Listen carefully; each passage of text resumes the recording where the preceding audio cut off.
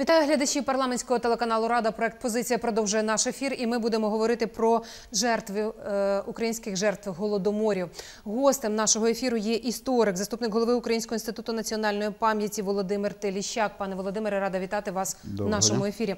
Ви наголосили на тому, що голодомор це не лише трагедія, що забрала мільйони людських життів, а й соціальна інженерія. В чому ж власне полягала мета організаторів? Ну. Мета організаторів е, цього злочину, злочину геноциду, полягала в тому, щоб е, знищити українську національну групу як таку, щоб е, на цій землі жили вже не українці, а якийсь безликий совєтський народ. А чим загрожували саме українці?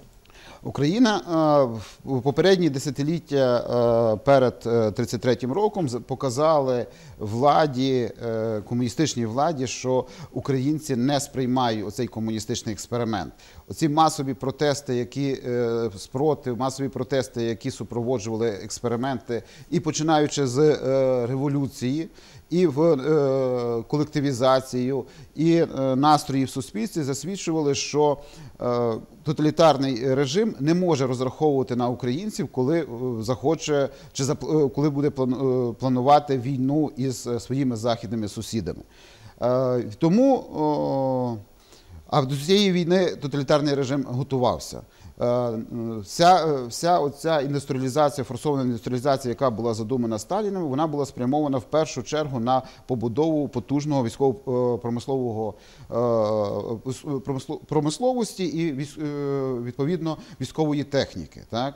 Е, І е, в цій ситуації, коли режим готувався до війни, він бачив, що на українців сподіватися розраховувати не можна. А Україна, яка займала прикордонну е, територію, яка, е, на якій розгорталися най, найсильніші, найпотужніші військові з'єднання Радянського Союзу, вона мала стратегічне значення для Радянського Союзу. І в цій ситуації Сталін вирішив знищити, ліквідувати будь-яку окремішність е, е, української національної групи, винищивши голодом е, значну частину населення, а решту фактично тим же тер- терором голоду і репресіями змусити відмовитися від власної ідентичності. Тобто голод це була зброя безпосередньо. І чому саме проти українців інші нації, якщо порівнювати, які входили до радянського до складу радянського союзу, не вели таку, скажімо так, політику протестів, протесну Е, політику?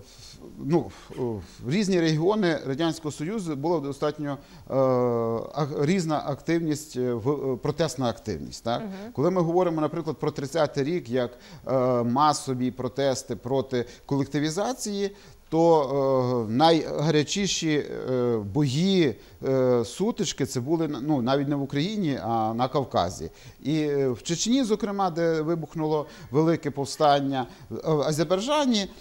Але е, на цьому, навіть на цьому фоні е, Україна вигляда, е, е, вирізнялася масовістю з протестів. Так? Тобто, за підрахунками істориків, в е, тодішніх протестах в Україні взяло участь більше там близько мільйон двохсот тисяч селян. В 32-му році е, хвиль е, фактично е, в 32-му році от є статистика за перших 7 місяців е, е, 32-го року масових протестів, масових виступів по радянському союзі. В Ра- Україні було менше виступів ніж в 30-му році. В 32 за перших 7, неповних 7 місяців це більше 950 виступів. Але якщо говорити про весь радянський союз, то ці 950 виступів складали е, більше 56% всіх протестних виступів в радянському союзі. Тобто Україна на 32-й рік залишалася епіцентром того протестних, е, протестних настроїв, е, несприйняття комуністичного експерименту. От ми говоримо про те, що голод це зброя спрямована проти української нації. Власне, які були загалом плани, як вони втілювалися у життя? Адже ми бачимо, що відбувалася і колективізація, і розкоркулення в цей період, і власне знищували Україну тими е, заготівлями хліба, тобто давали ті плани, які по суті Україна не могла виконати, а потім забирали, окрім хліба, все продовольство, якщо вже не було Ну, хліба. е, все починалося не в 32-му році. Насправді все почалося е, тоді, коли Сталін е, досягнув е, в- повної влади в комуністичній верхівці і розпочав свою, як він називав, революцію згори. Е, От з, е, з кінця 20-х років розпочинається згортання отих ліберальних поступок, е, які були запроваджені під час е, нової економічної політики. Е, Розпочинається оця форсована індустріалізація, розпочинається колективізація. Все це мало е, на меті з одного боку поставити е, все суспільство під тотальний контроль е, політичної е, комуністичної партії, з іншого боку, е, витворити потужну військову військову силу. Е, Відповідно, е, разом з тим, е, коли почалися процеси оцього другого комуністичного експерименту після 19-го року, проти різних груп незгодних розпочалися різноманітні репресії. Тобто, ми в Україні ці репресії мали виражений такий національний характер.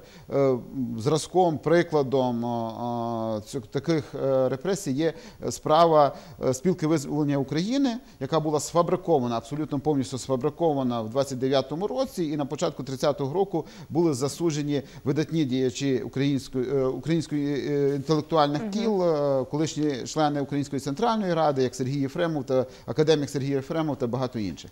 І ці репресії вони починаючи з кінця 20-х років тривали. Тобто там е, е, навіть ті. Е, Ті українці, які е, повернулися повіривши комуністичному режиму, е, повернулися е, в радянську Україну, як той самий Михайло Грушевський, який опинився під наглядом спецслужб, як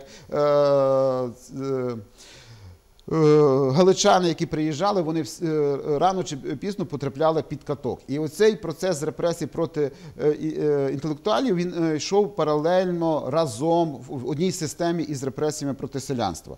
І вершиною тих репресій проти інтелектуалів знову ж таки став 33-й рік. І е, оці репресії і скасування українізації це також складові оцього геноцидного плану.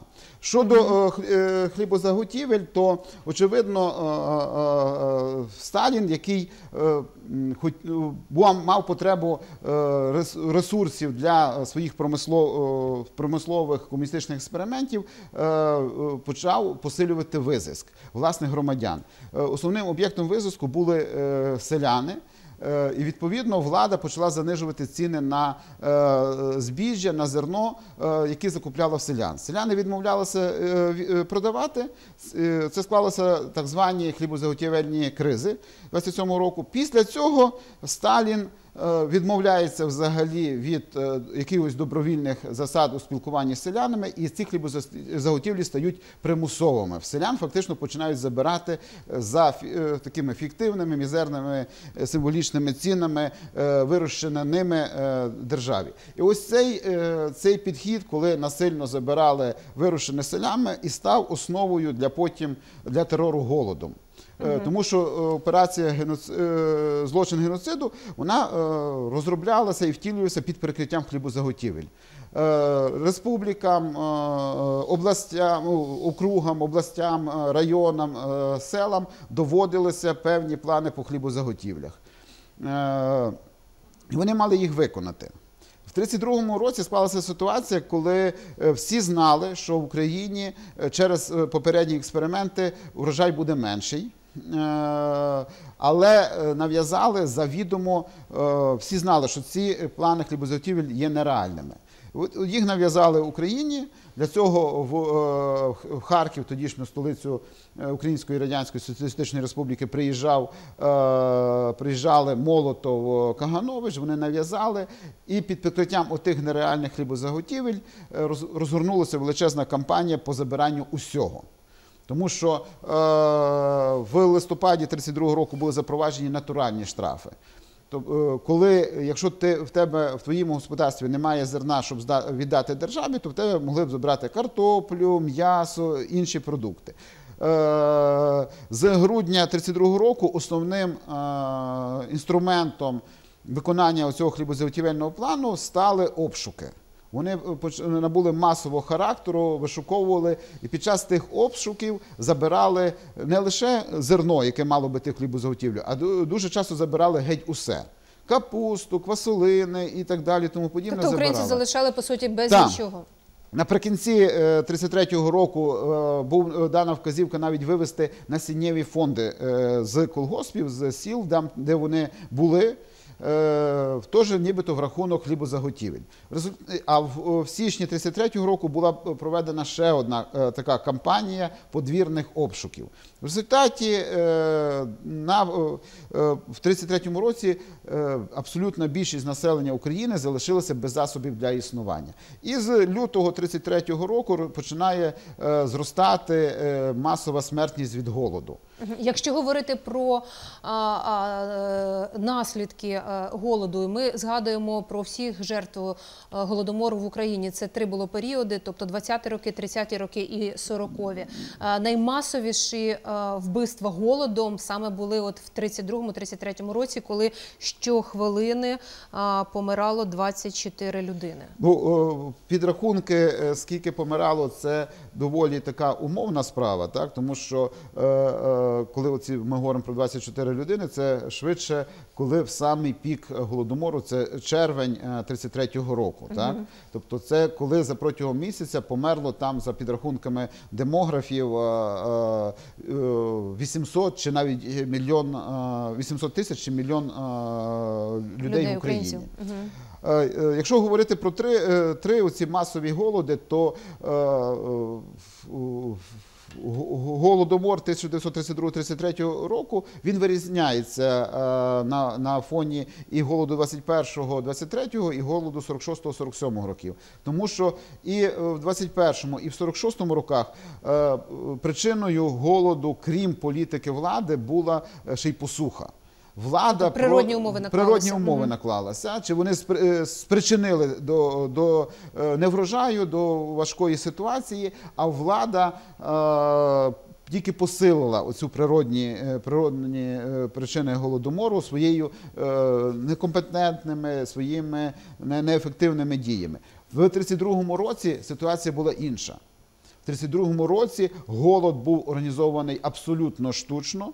Е, Він був абсолютно контрольований, його перебіг, е, е, перебіг був контрольований владою, і він закінчиться тоді, коли владі було вигідно. Оце, оця відверта зумисність, штучність голодомору 32-33 років і говорить про його зумисний характер і є ознакою злочину геноциду. Мгм. Ну, от, власне, якщо ми говоримо про голодну смерть і е, загалом говоримо про а, ті наслідки страшні, от на сьогодні говорять, малюють, ну, е, визначають десь біля 10 мільйонів людей, які загинули внаслідок голодомору. Якщо ми згадуємо тільки в пік, да, загинуло понад 1 мільйон українців. От такі страшні цифри. І якщо брати серед інших е, а, національностей, звісно, що українців загинуло найбільше. От навколо цієї цифри 10 мільйонів це остаточна цифра. Ну, ця цифра е, насправді е, ну, є дуже складною, так? Е, тому що е, 10 мільйонів вона така цифра, яка вражає, і швидше за все. Це, е, е, це цифра, яка, яку можна включити загалом жертви тоталі- Всіх голодоморів, про які ми згадуємо. голодоморів і, і інших репресій, пов'язаних з депортаціями, розкуркуленнями.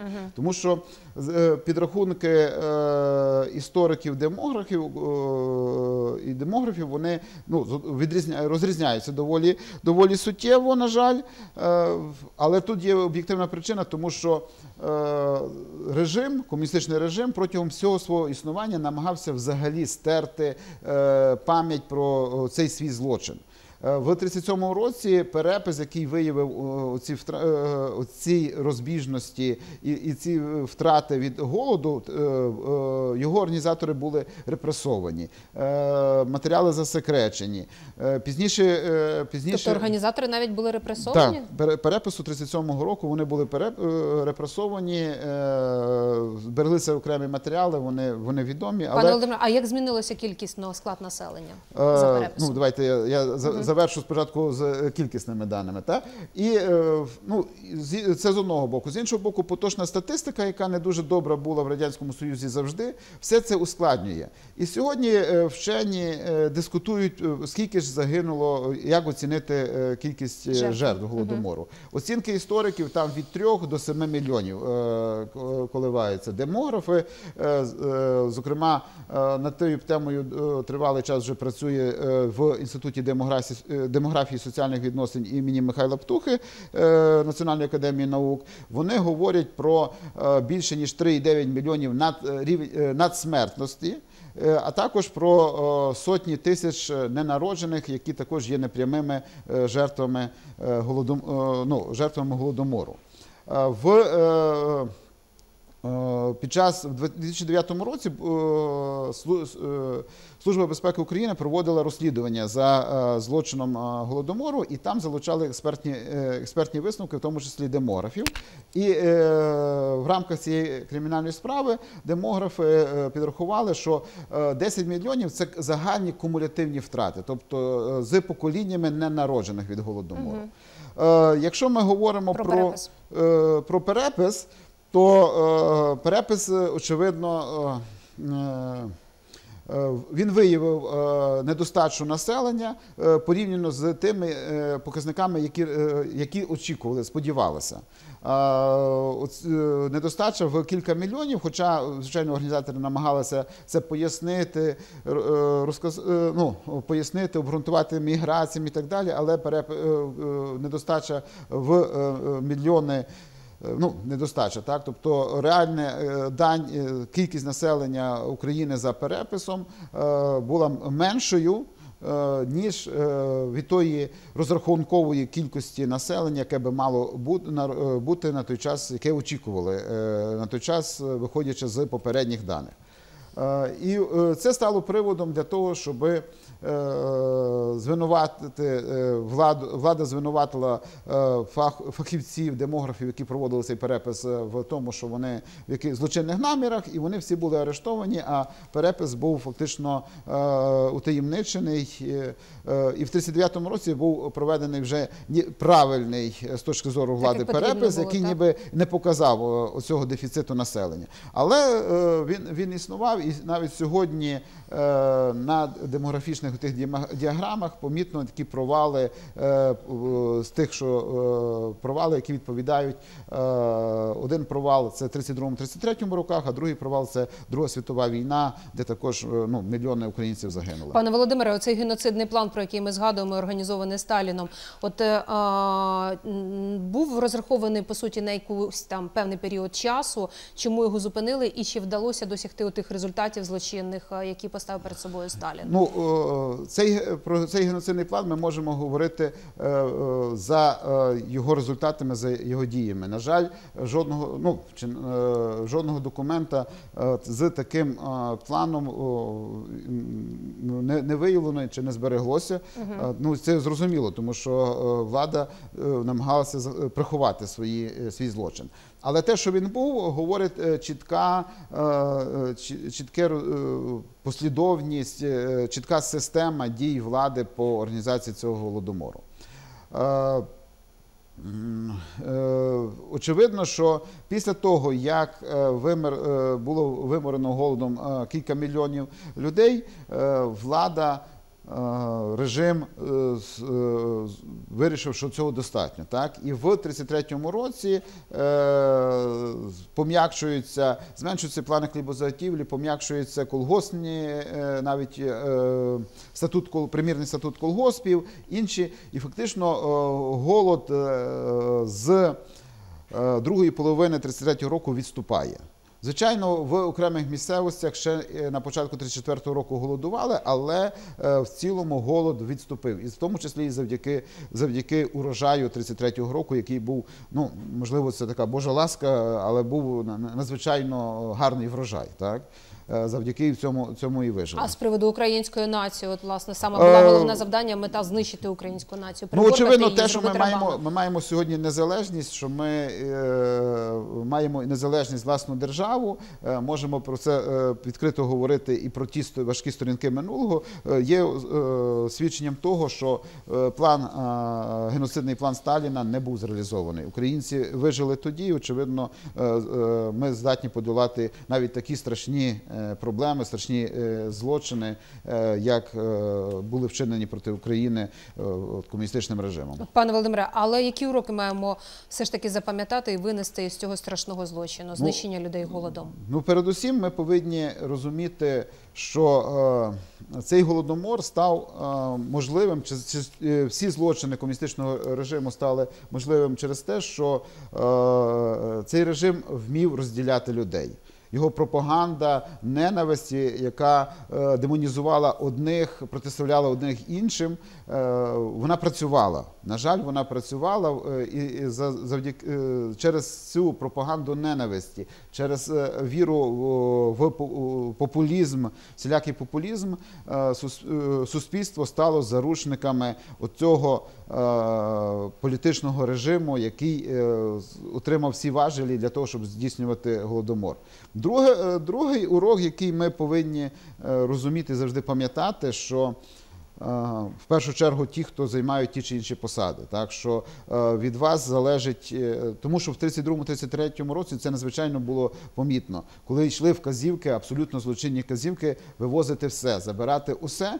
І ті голови колгоспів, е, ті голови сільрад, ті активісти, е, владні, провладні активісти, які тим займалися, дуже часто е, весною 32-го року також опинялися на межі смерті, як, їхні односельці. Тобто виконання тих злочинних наказів приводило до того, що їхні односельці гинули з голоду. І це, є відповідальність за те, що ти робиш, особливо якщо ти займаєш посаду. І очевидно, що навіть цей той же голодомор показує, е, показує нам, що е, вижити в першу чергу можемо е, подолати всі проблеми, коли ми зберігаємо людяність. Так? Тобто, завдяки тому, що люди ділилися остатнім, вони отримували шанси вижити. Ну і для кожного нас, пересічного українця, що ми маємо робити, як шанувати і пам'ятати? Е, цього- Щороку, в четверту суботу листопада, Україна вшановує пам'ять жертв голодоморів, усіх вбитих, е, замучених голодом в ХХ столітті. Е, Щороку в цей день е, ми запалюємо свічки. Цього року е, Україна знову ж таки і світ опинилася в складній ситуації, коли пандемія, і тому е, в умовах е, тих карантинних обмежень ми не- е, можемо проводити масових заходів. Тому ми закликаємо усіх в першу чергу запалити свічки на, свої, е, на своїх підвіконнях. Е, З 16 години е, в 16 годині доєднатися до загальнонаціональної хвилини мовчання і запалити свічку в своєму підвіконні. Оця свічка і буде нашим виявом пам'яті е, про минуле і віри в майбутнє. Е, Щодо киян, то е, Інститут національної пам'яті е, створює можливості, що кожен може прийти на меморіал протягом дня, запалити свічку на меморіали жертвам голодомору. Завтра, в суботу, з 12 години протягом дня, хто має бажання, приходьте, буде можливість і там запалити свічку. Дякую за розмову. Володимир Теліщак, історик, заступник голови Українського інституту національної пам'яті, був гостем нашого ефіру. Дякую вам, глядачі, що були разом з нами. Залишайтесь на парламентському. Не перемикайтеся, адже ми працюємо для вас.